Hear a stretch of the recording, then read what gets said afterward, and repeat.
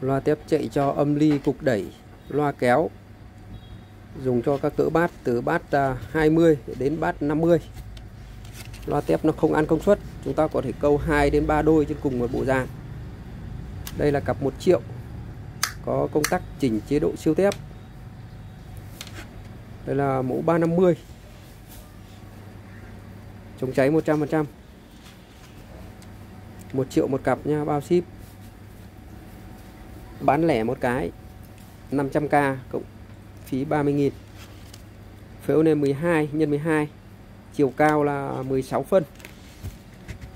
Cái này côn 3,5 nhá cao 16 phân nhá cao tổng nhá. Loa tép đấu vào đít loa đít âm ly đít cục đẩy. Loa cây loa phun loa nằm đều được. Đấy, loa tép đặt nóc để thay thế tép theo loa anh em hay à, những cái tép theo loa mà hay bị cháy, bị xịt, hát karaoke mà hay bị cháy thì liên hệ với mình. Mua một đôi về đặt nóc là ok. Dây dài một mét rồi. Chúng ta đấu vào đít loa, đít âm ly, đít cục đẩy nó đều là một, vì nói chung dây loa.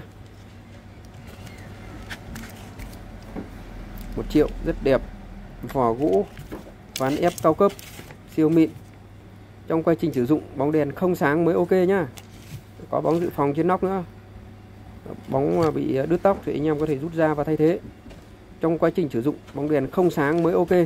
Chứ còn bị sáng là cảnh báo vang nâng lọc méo tín hiệu 50% nó gọi là hiện tượng dày tép trong âm thanh thì bóng đèn sẽ báo sáng thì cảnh báo. Anh em phải điều chỉnh và ghép lại bộ dàn cho nó chuẩn một tí.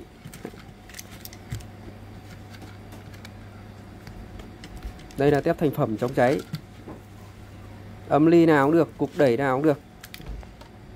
Nhiều anh em cứ hỏi, đẩy có chạy được không? Đẩy với âm ly nó không khác gì nhau cả, nhưng mà đẩy cái công suất nó nhiều sò hơn, nó to hơn thế thôi, chứ còn không ảnh hưởng gì cả.